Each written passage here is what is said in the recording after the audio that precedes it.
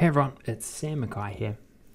Today we are going to run through how you can handle weekends and weekdays.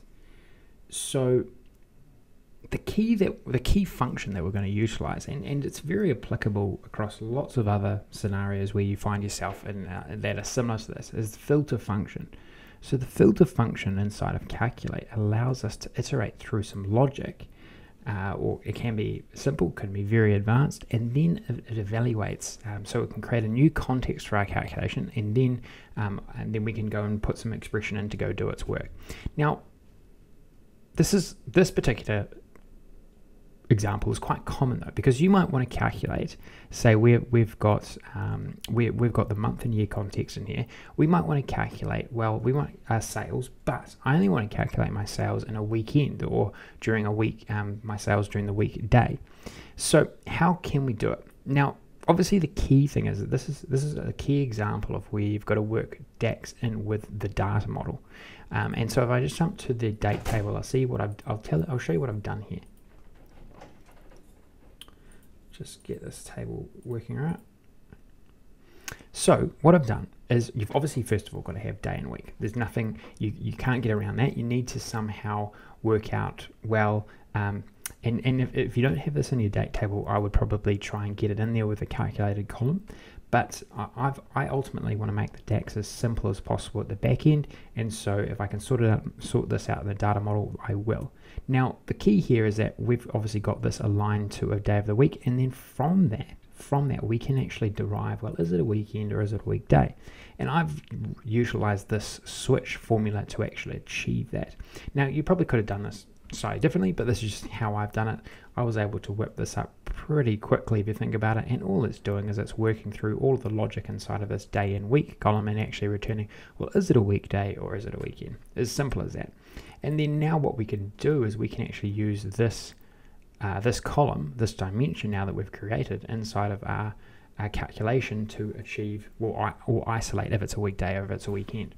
So let's run through an example of how you'd actually write your formula um, when you had that set up. So I'm going to go sales um, during for sales weekdays, and then I'm just going to go calculate total sales because that's not going to change. We want to calculate total sales, right? We just want to put it inside of a different context, and then I'm going to go filter. Then I'm going to look to the dates table. I'm going to say, okay, we'll go look at the dates table and filter everything for it's for the weekday and then all I've got to go is week dates, weekend, weekday, which this is the new mm-hmm. column which we've just created, and then I'm just going to put in weekday, and then I'm going to close it off. Then go enter, and then if I bring that in, you'll see that we get different results. And this is for the week. This is obviously only going to show us the weekdays. I'm just going to format it, and then from here, what I'm going to do is I'm just going to copy and paste this, and then I'm going to say weekends, and then place weekend here, just like that. It's very quick and format it and then drag it in. There you go. And so sales of weekdays and sales weekend, that is going to give us um, the total sales. It's going to add up to the total sales, right? And so can you see here how the logic, so this is how we use filter really, really effectively. Well, we actually use it in combination with the data model if you think about it, because we added this this this dimension or this column what didn't exist until we added it based on some logic inside of that table. And then we were able to put the filter function over the top of it. But can you see how you could actually use this in any way, you know, any way, shape or form? So say we wanted to work out Saturday sales. So all I'd have to do is um, I'll just go sales Saturday and then all I have to do is change the logic inside of here and say, and then go day of week. So look here, day of week, and then just type in Saturday. And then I'm just going to get my Saturday sales from this. I'll just format it. And then you could work out, so there's lots of, and then once you get to here, you could actually you know, you could branch out into a few other things. You could say, okay, well, how many um, Saturday sales? So well, let's let's work it out. So percent of sales on weekend. So you could do something like this, and then all you got to do is, is jump from um, or branch out into this one by only using your measures. So I'm just going to go sales on weekends divided by my total sales, like so, and then I just do a percentage, and then you can drag that down like that.